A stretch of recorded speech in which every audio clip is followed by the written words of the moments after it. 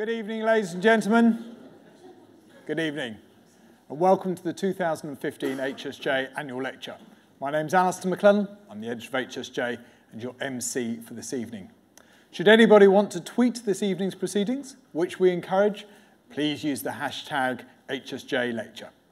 Few housekeeping notes before we begin. Please put your mobiles on silent. Uh, we're filming tonight's proceedings for broadcast later this week, and as you'll see, we also have the cameras here from Sky. Finally, we will have about 20 minutes or so after the lecture for questions and debate, so please prepare to contribute. This is the second HSJ annual lecture. The first was given by NHS Chief England Chief Executive Simon Stevens last December. The venture is still new enough, therefore, to remind you why we decided to create the lecture. The purpose of the lecture is to give UK healthcare a high-profile platform from which one of the country's leading um, health policy thinkers can set out their thoughts on the future direction of the NHS.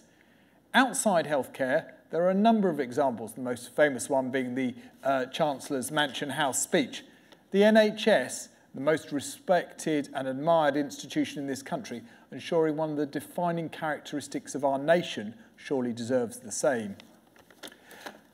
Last year, Simon used uh, the first HSJ annual lecture to set out the implementation for the five-year forward view.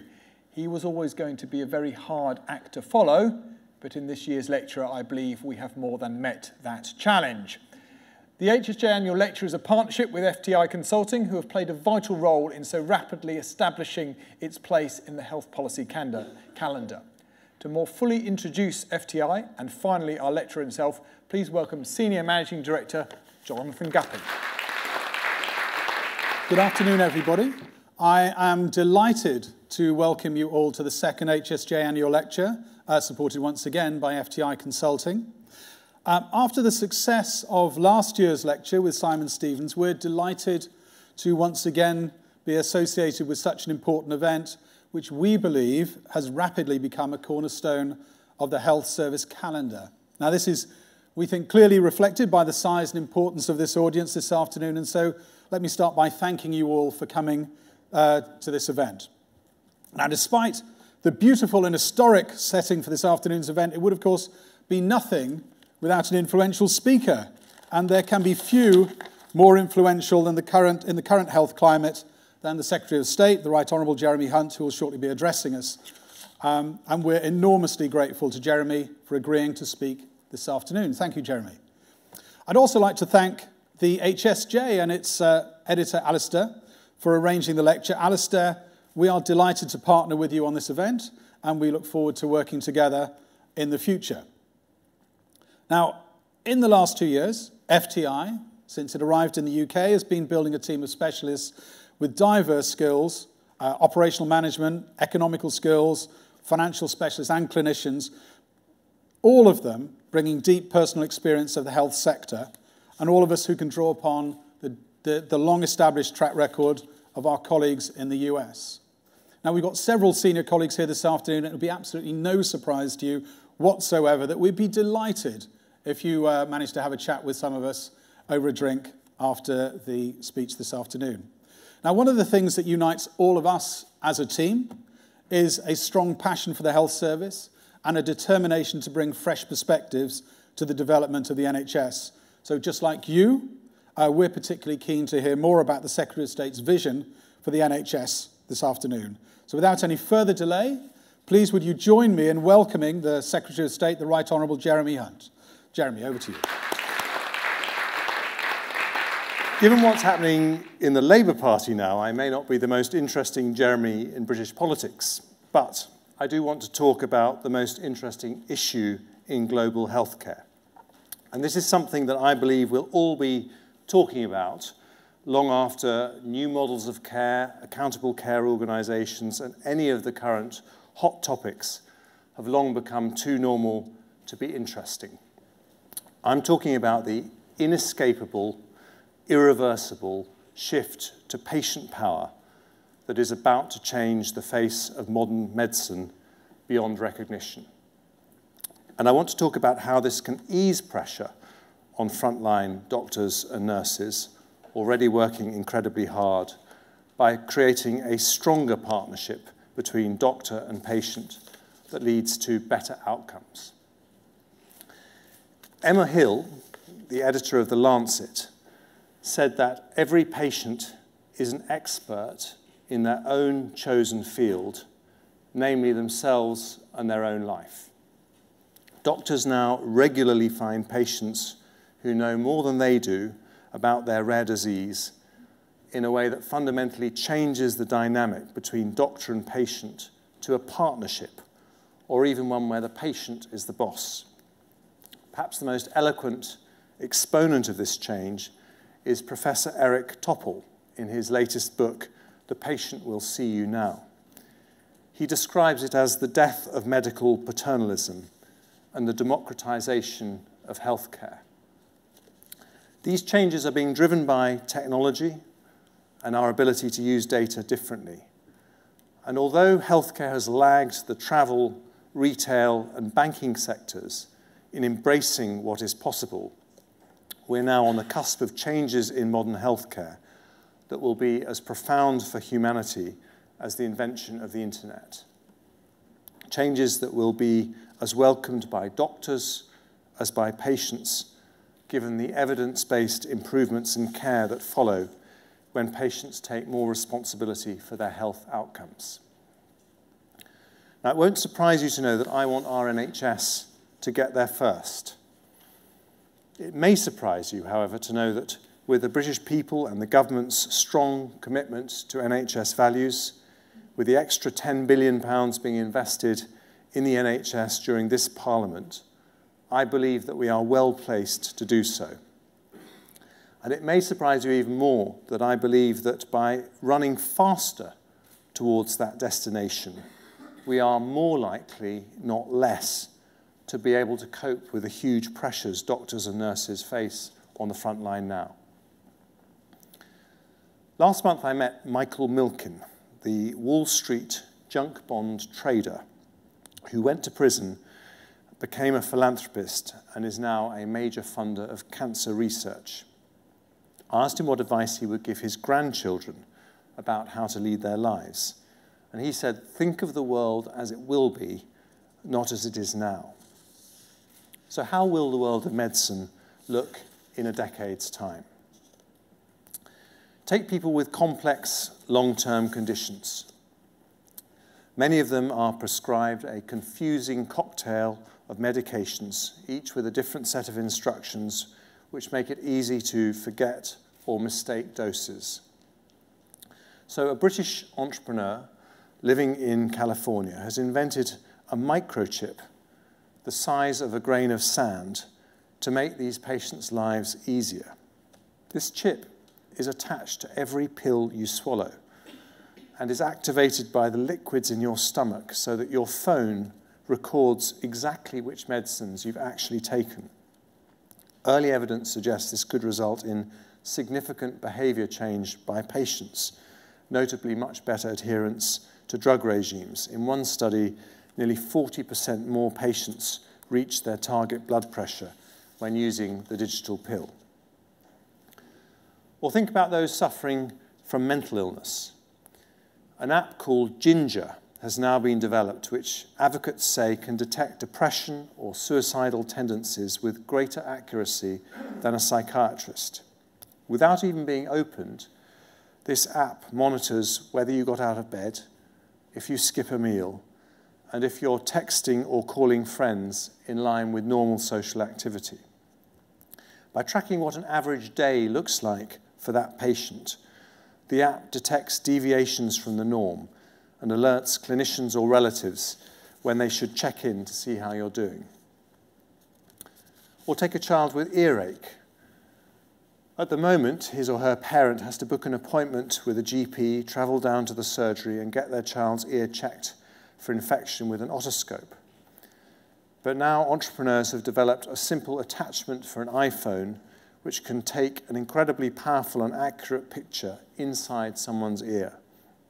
This means with two clicks, the parents can send an image to their doctor, and with e prescriptions and home delivery, the problem can be rectified without stepping outside your home. Time and money are saved, and that family's consumer experience is revolutionized. In some ways, this is just the onward march of modern technology finally taking place in healthcare. But these changes are doing something more. All of them are giving patients much greater control of their own healthcare and responsibility for their health outcomes. So, is this good or bad for doctors? US health tech entrepreneur Vinod Khosla says that soon we will never ask a doctor for a diagnosis. Somewhat provocatively, he asks, Why would you trust a human brain to make a judgment when a single drop of blood contains 300,000 biomarkers that can be analyzed by a computer before you even have any symptoms? More likely than his prediction is a partnership between a doctor's judgment and the information provided by data analysis. Whilst the best computer chess program can now beat the best human player, it has not yet defeated a human working in partnership with a computer. And that partnership will seem blindingly obvious when it happens. Like the transition in tennis from depending on linesmen at Wimbledon to using Hawkeye, the move to the quantified self in medicine presents a huge opportunity to improve the quality and accuracy of a diagnosis. Perhaps the most high profile example of this is Angelina Jolie choosing to have a double mastectomy after genetic sequencing. But it's also clear in an era of chronic conditions, when patients take responsibility for managing their condition, the outcomes are better.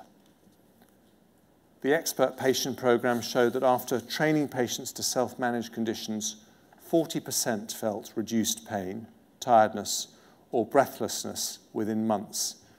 Some, reduced, some reported a reduced use in NHS services such as GP consultations and hospital visits.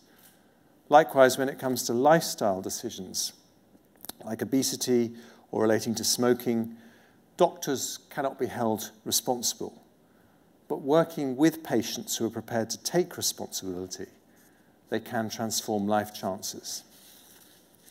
No one disagrees with this. So now it's time to move away from the ivory towers of theory to the gritty job of implementation. Today I'll therefore talk about this government's plan to make this happen and the four elephant traps we need to avoid in the process. But first, let's look at our progress to date. Over the last few years, we've been pursuing an ambitious digital strategy in the NHS. Three years ago, I, perhaps foolishly, said I wanted the NHS to go paperless by 2018. I'm sure that someone somewhere will be able to find a lone sheet of paper in use in three years' time. But the spirit of that ambition remains alive and well, not least thanks to the inspirational leadership of Tim Kelsey and his team at NHS England. For example, last year, the number of GP practices offering access to summary GP records rose from 3% to 97%. And in the last two years, the number of practices offering e-booking and e-prescribing rose from 45% to 99%. Take up from the public is still lower than we want. But from April next year, all patients will be able to access their full GP electronic record and not just a summary. By 2018, this record will include information from all their health interactions across the system. And by 2020, it will include interactions with the social care system as well. By then, patients won't just be able to read their medical record, but also add their own comments they'll be able to link it to wearable devices like Fitbits or Jawbones. And as important as the improvements in clinical care that come from electronic health records is the cultural change that comes from transparency. In January, the World Wide Web Foundation ranked the UK first in the world for open data, which includes a health category.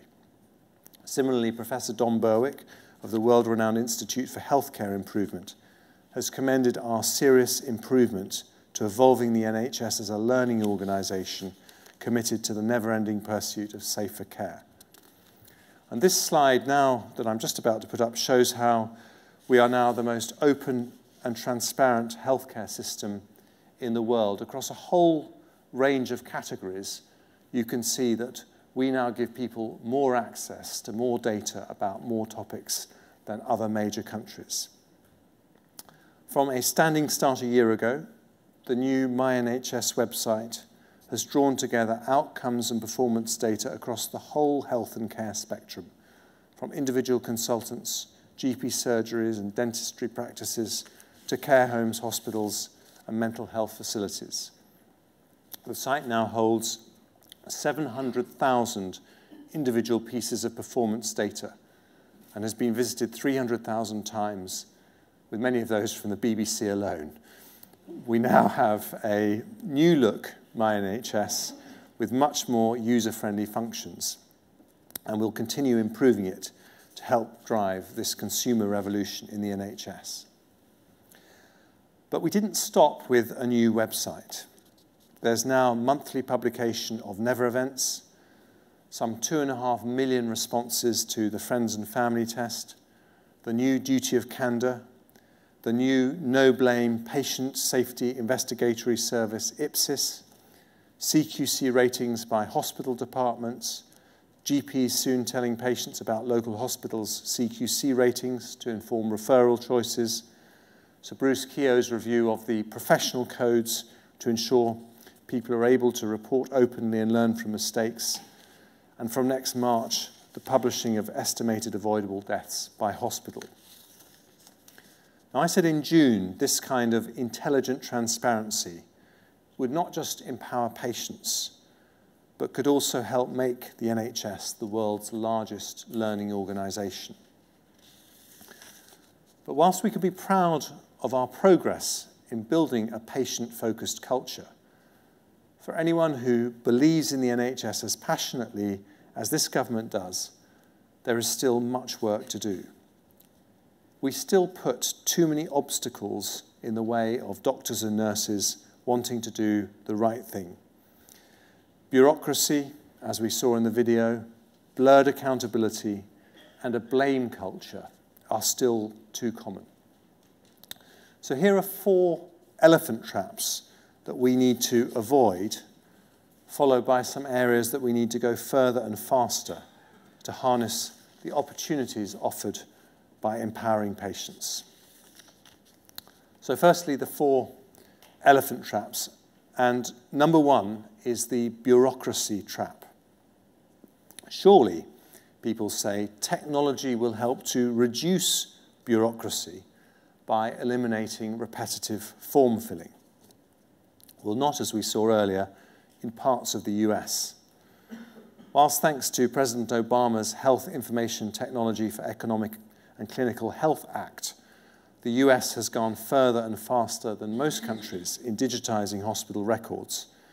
This change has met huge resistance from doctors because of the extra burden that can reduce contact time with patients. Put simply, for many doctors, it feels like screen contact has replaced eye contact. One recent US study videoed 100 patient visits and found doctors were spending a third of their time looking at their screens. Another found that emergency room doctors spend 40% of their time filling out online forms and just 28% with patients. An emergency department in Arizona tried to attract applicants by stating on the advertisement that they had no electronic medical records. This was a selling point for the hospital. And in the UK, there are some people who think that the new IT system at Addenbrooke's helped tip that trust into special measures.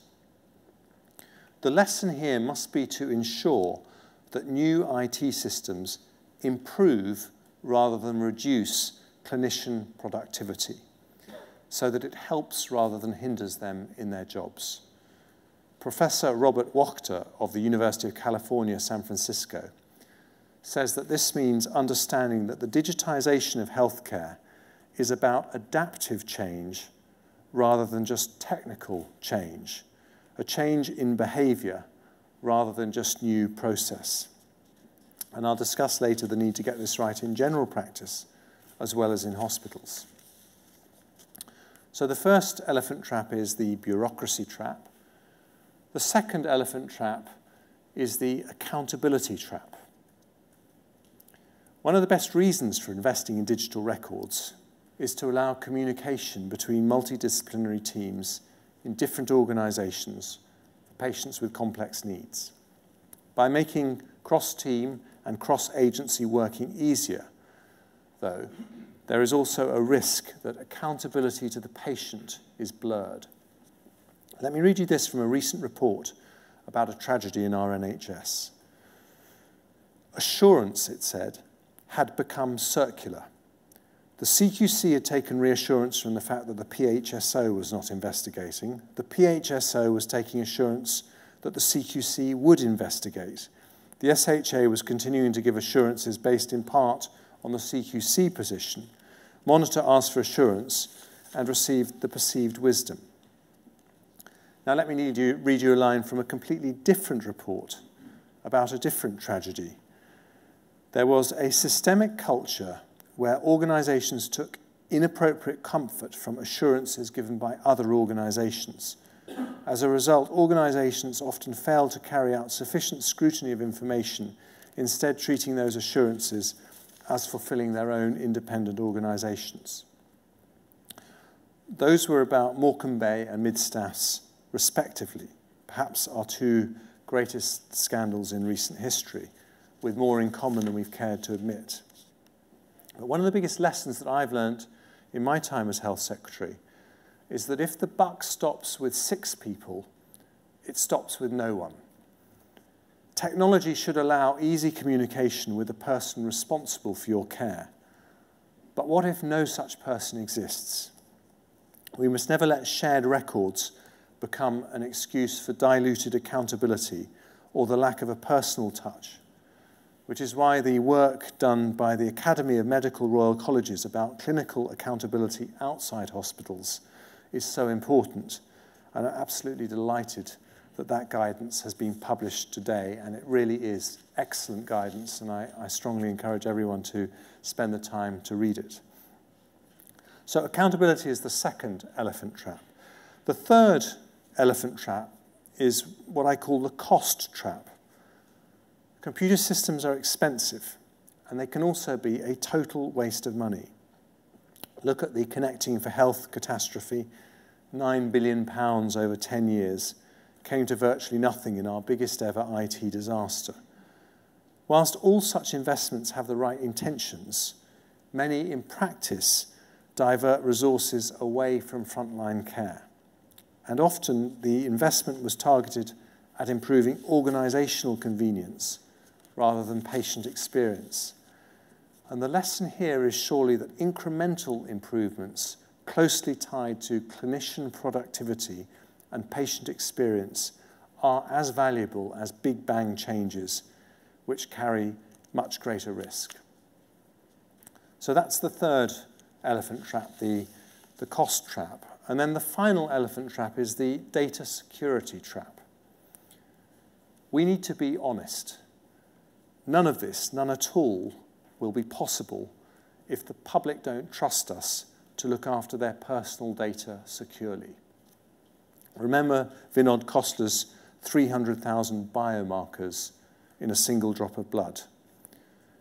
Who will send their sample to a laboratory if they're worried about the security of highly personal information. The plain truth is the NHS has not yet won the public's trust that it is competent in protecting basic personal information.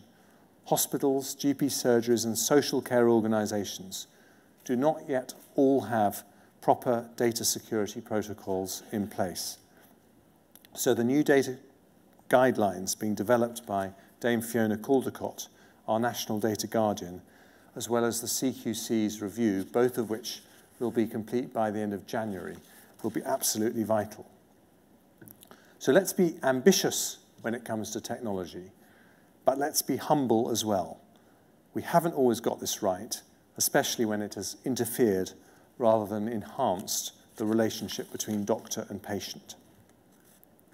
So I am delighted to announce today that Professor Robert Wachter, not only of UCSF, but also author of The Digital Doctor and a world expert on the promise and pitfalls of new IT systems, will conduct a review for the NHS on the critical lessons that we need to get right as we move to a digital future. He will guide and inspire us, as Professor Don Berwick did on safety, and we look forward to receiving his report next summer. So those are four elephant traps to avoid. And now five suggestions as to whether we, where we need to go further to make a reality of patient power. Now, because we've already started on this journey, these five points are more about plugging some gaps in the architecture and making sure that we square the opportunities ahead with the significant financial and operational pressures we face. But if we plug these gaps and stick to the plan, I'm confident, as promised in July, that we really can make NHS patients some of the most powerful in the world. So the first thing we need to do is to plug the transparency gap that we still have. We publish more information than anywhere else, as we've just seen, but we need to go further and ensure that we have, and ensure that we have truly intelligent transparency. That's why the King's Fund report on CCG accountability is so important. And I can announce today that we are pressing ahead with those changes in accordance with the advice that we got from the King's Fund. Now, Chris Ham advised us that aggregated ratings were only possible if human judgment was used to interpret the data we have. So NHS England will provide ratings of all CCGs similar to the ratings that Ofsted and the CQC provide in the following categories outstanding, good, requires improvement, and inadequate. And this will have that element of human judgment that the King's Fund advised was important. And this will help people have a good sense of the quality of healthcare provision in their area and how it comes and how it compares to other localities. By June next year, we'll publish these both as an overall rating and also for cancer, dementia, diabetes, mental health, maternity, and learning difficulties. In line with the King's Fund recommendations, the ultimate judgments for these ratings will be made not by an algorithm, but by expert committees. And I'm delighted to announce the names of the people chairing two of those expert committees today. Harpal Kumar of Cancer Research UK will chair the committee looking at the cancer ratings, and Paul Farmer of Mind will chair the committee looking at the mental health ratings. The overall CCG rating published next June will use the 2015-16 data and that will be informed by the current NHS England CCG scoring methodology. However, under Ian Dodge's leadership in NHS England, uh, they will be developing a new methodology based on the wider responsibilities that CCGs now have for their local health economies. and Ian will consult with CCGs on this so that that new methodology is in place from the start of the next financial year to inform the next set of ratings that will be published in June 2017. And we'll also do more to ensure the public get clear information about the quality of their local GP surgery informed by the Health Foundation's work. We should not underestimate the boldness and radicalness of the ambition to publish these ratings about the performance of entire local healthcare economies. This has never been done anywhere else in the world before, and particularly for areas like mental health. It will bring clarity to what has been traditionally a very opaque understanding of the variability of performance. So it is a true world first for our NHS. The second gap that we need to tackle is the accountability gap that I touched on earlier. How can patients truly be in control if they don't know where the buck stops for their care? We made good progress on this front with the introduction of named GPs, names above the bed in hospitals, and the Academy report into named responsible hospital consultants. And we're now going further and hardwiring the principle of named responsible clinicians into planning guidance next year. And today's report from the Academy of Medical Royal Colleges will be another big step forward, as I mentioned. Thirdly, we need to tackle the time gap.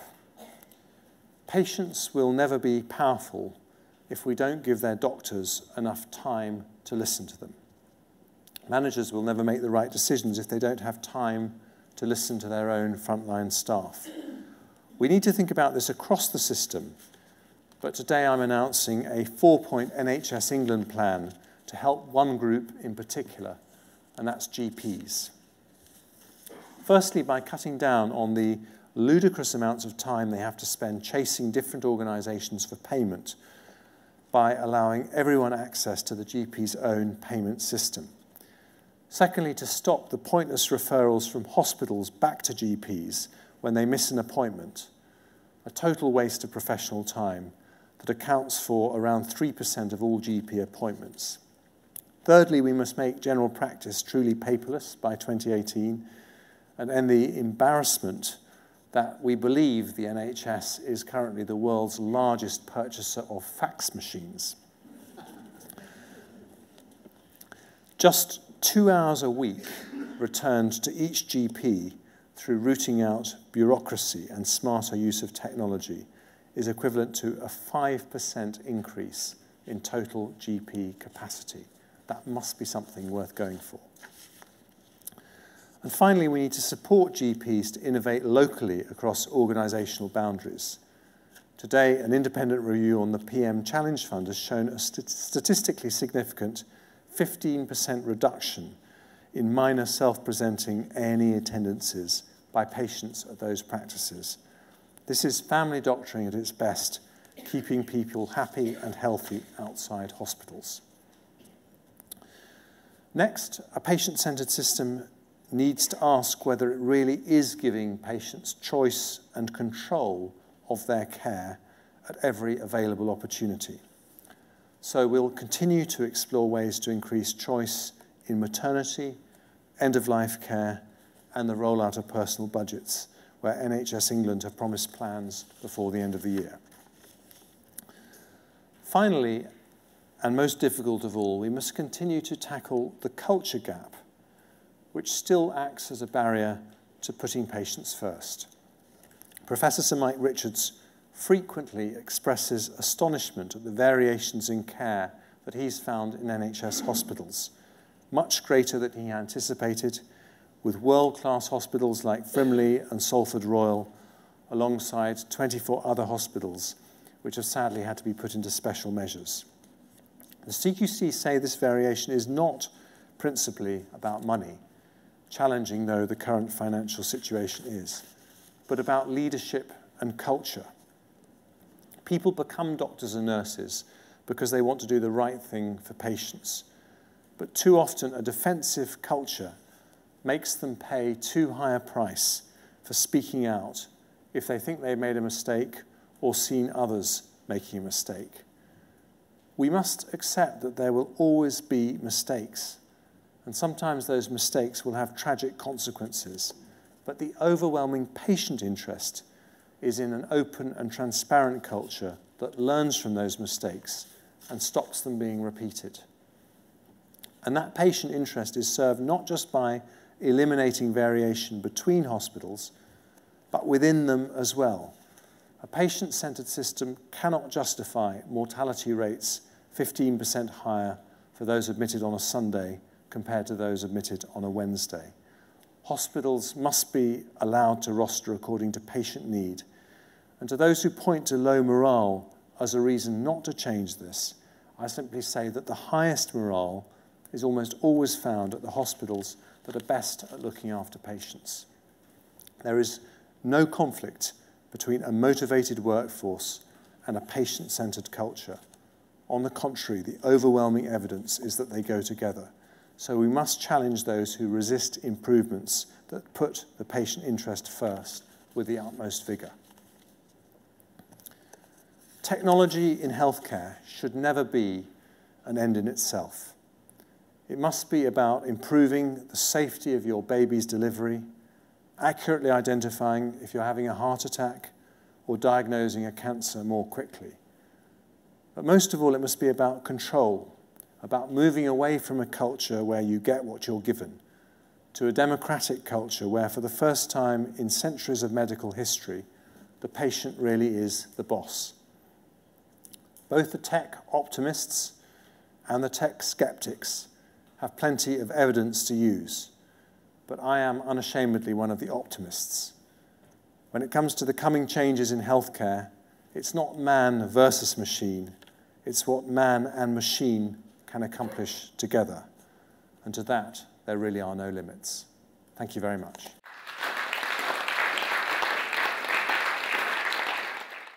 Jeremy, thank you very much. Fascinating stuff. I'm going to go to questions in the audience um, uh, in a minute, but I have one of my own, um, if I may, to begin with. I've always been struck in uh, conversations I've had with you about um, the way that you reference Ofsted, not as just a useful um, uh, um, uh, uh, comparison that other people have in their minds, but as a, as a way that Ofsted changed the public's relationship with, edu with, with education. I wonder how you think these ratings, particularly of CCGs and of um, things like cancer and dementia, etc., how do you expect them to change the relationship um, um, uh, with the, the public's relationship with the NHS? We all know, I've, I've got a six-month-old son. I already know all the uh, Ofsted ratings of the local, the, the local nursery, and I'll very soon know all the ones for the primary schools as well. I've, it's very clear what action I will take as a result of knowing those Ofsted ratings. What is the comparison in healthcare that holds up to that same level? It's a really uh, central question. And I think the best way to answer this is to look at what the impact has been where we have introduced Ofsted rating in the NHS so far in the last couple of years. So there was a lot of worry when, in the, excuse me, in the wake of mid-staffs, we introduced Ofsted star ratings for hospitals and GP surgeries and care homes. People said, what happens if uh, my local hospital uh, gets uh, an inadequate rating and gets put into special measures? Will that mean that no one wants to go to that hospital that the next door hospital will get flooded with patients and that the hospital that gets put into special measures will go on a vicious, um, get into a vicious uh, cycle of decline.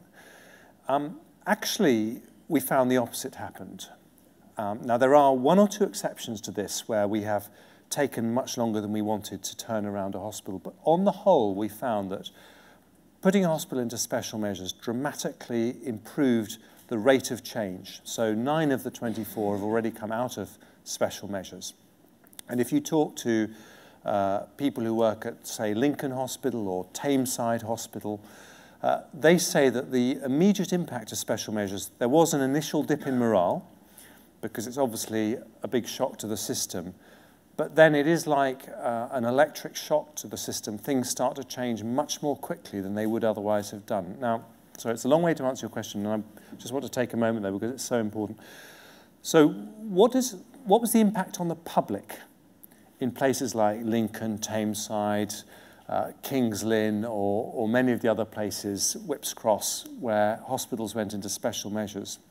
Well, interestingly, far from the kind of uh, you know, violent reaction and people saying we're not going to go to this hospital anymore, in most cases, the public weren't remotely surprised nor were the people who worked in the hospital because they knew there were issues that needed to be addressed. In fact, the public were reassured because they thought now it means something's going to be done about this problem. So by going one step further and saying that the care that you get for cancer can't just be about the care inside a hospital, it's actually about the whole package of care that extends from primary, community to acute care tertiary care as well. If you take those all together, access to drugs, all these things together, um, that's actually the crucial bit of information if someone in your family has cancer. And I expect what we'll find is, just as we found with um, hospitals, that there is a surprising amount of variation. And the positive thing is that where the care is outstanding, we'll find that people beat a path to those areas to try and understand what it is that those areas have got right about cancer care and to try and learn from them. And that's what's happened with Salford Royal and Frimley Park and many hospitals that have got good ratings. Um, and where it's not good, I think the public will have confidence that something is going to be done about it because by being brave enough to say publicly that these are the areas where we don't think care is as good as it needs to be, um, you, you prompt rapid behaviour so change. the ratings are there to reassure the public that um, either the services are good or that it has been recognised that services are bad and something to do that. You don't expect individual patients to take any specific actions as a result of those ratings. It may happen at the margins, um, but I, that hasn't been our experience to date when we've introduced um, other types of uh, ratings in other areas. Um, what patients want to know, uh, because often realistically, patients don't have choice. I mean, maternity is one of our areas, and you know, realistically, people will continue to go to their nearest hospital to have their baby. Uh, what they want to know is that improvements are being made, and and that's what I think. I hope the system will develop into a learning culture. I think it's incredibly important that we don't see this as a process of blame. There are no sanctions or penalties that we're announcing. Uh, just uh, the opportunity for people to learn. And uh, I think the area I'm most excited about actually is mental health, because I do think this is an area where delivery has, has been most opaque. I really don't think anyone now in NHS England uh, or in the Department of Health has a very good idea of where the variations in mental health provision are, both in terms of access and quality of delivery. And this will be a chance to look at that in, a, in an intelligent way, and I think that'll be very helpful. Okay, right, let's have some questions for the audience. Can I congratulate you on the vision in embracing the digital revolution for healthcare, which, as you know, I've strongly endorsed and encouraged. One of the major blocks, you're quite right, is mindset and culture, not technology. And I worry that the new generation of doctors now in medical schools are getting taught by people who are in the old way, not the new way. But the responsibility for them lies with the Department of Business, not Department of Health. Isn't it time we shifted that to get some consistency and get the new people trained in the new way? Andy Calder from Health Service Journal. Um, Secretary State, the, whether it's with the Birmingham acute uh, sharing of the chief, chief executive in the chair, or as we've provided chains of hospitals as an option, or whether it's accountable care organisations like Northumbria, we appear to have a direction of travel with consolidation among providers. How will this new data help patients and the system to make decisions and choices which will actually reward the high quality and help to act on the less high quality? Thank you. Jeremy Hughes from Alzheimer's Society. Thank you, Secretary State. This is good news for people affected by dementia who, as the CQC report last year showed, fall through the cracks in the pathway all too easily. My concern is to suggest that maybe there's a fifth elephant trap, uh, which is that what we end up doing is empowering the easily empowered. What do we do about the people who don't use technology, who don't find it easy, to in interpret Ofsted reports who don't find it accessible, even when we make that information available? How, how can we go further to reach the most dispossessed? Right, so digital exclusion, um, rewarding uh, high quality and um, out of touch teachers. Um, okay, well, let me just take those in, in reverse order. Um, Martha Lane Fox is actually doing a report for me at the moment that's precisely looking. So, this um, revolution in um, patient empowerment, there are always the early adopters and the pioneers, but you're absolutely right. Uh, we need to make sure that everyone is part of that. And she has championed this, and she is thinking very hard about how we do that. And I think um, in the case of people with dementia, that is a particular priority because actually technology can be very transformative for people with dementia in making life easier. Um, but, um, you know, being very blunt about it is something that you need to help them at the early stages of their condition for obvious reasons. So uh, we are doing a lot of thinking about that, but I think the point is extremely well made.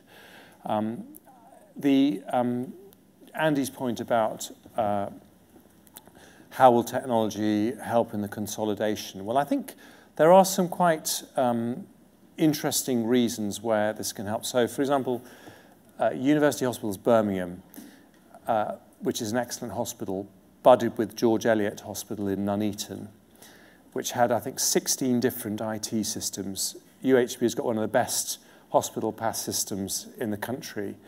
And um, one of the big benefits of this was that rather than George Eliot having to go through the whole process of procuring a new IT system, they could basically just implement the system that UHB already had uh, and shortcut that whole learning process.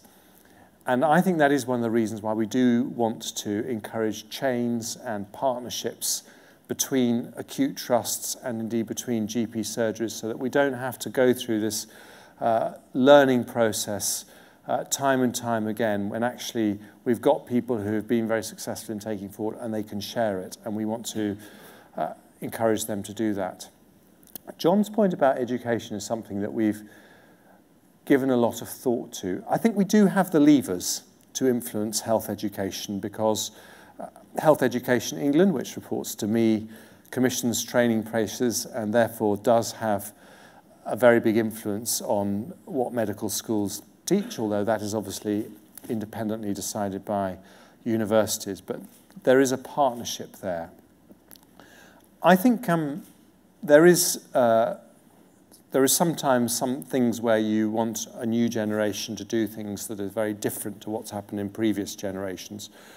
I think when it comes to technology, providing we learn the lesson of that video and make sure that technology enhances clinician productivity, I'm very confident that it'll be adopted quite speedily throughout all parts of uh, the profession. But I think where the culture change is most challenging is that parts of medicine, what young doctors say to me is that parts of medicine are quite hierarchical and actually there isn't that culture of speaking out um, and that culture that uh, they have developed in other industries where it's relatively easy to challenge your boss if you think your boss is about to make a mistake or has made a mistake. I think that can be very hard in some clinical environments. And that's something that Health Education England are looking at, whether we can give particular support to the next generation of doctors to say, look, this is something we haven't always got wrong in the past, and we want to support you in changing that culture going forward.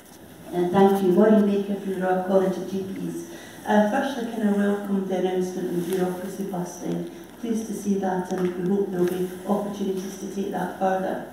However, um, I do want to uh, come back to you on your Ofsted style ratings, the CCG performance. And in the King's Fund report, um, they clearly state that the technical experts they consulted strongly advised against using aggregated measures as these can mask good or poor performance in individual indicators and thus not be meaningful. And I'm afraid I don't see how a committee that then um, puts uh, an Ofsted rating um, uh, against this, will do anything to mitigate that risk. Thank you very much, Secretary of State, and thank you for acknowledging our access and weight standards in mental health and the efforts we're doing to try to make those world class. Uh, my question is really about how much um, the environment in which people find themselves impact on outcomes. So when I'm thinking about people with all sorts of challenges, the quality of the housing and the support that they move out to is really critical. Do you have a kind of a mechanism for thinking how we would join it all up? Chief Officer for West Essex CCG, um, share hot sunk, I have to say, when you announce that, um, and I think it will be very difficult to bring the talent into CCGs that we need with that kind of hanging over their head. What I really wanted to challenge you on was you outlined the opportunity for technology to really challenge the sort paternalistic culture that can exist in medicine. Um, and I feel that you outlined a fairly paternalistic approach to assurance and oversight in, in what you set out. I'm a passionate advocate for the power of local people to be disruptive to some of that, and I would really be interested to see how you think the technology, technological revolution can be brought together with local people and communities differently.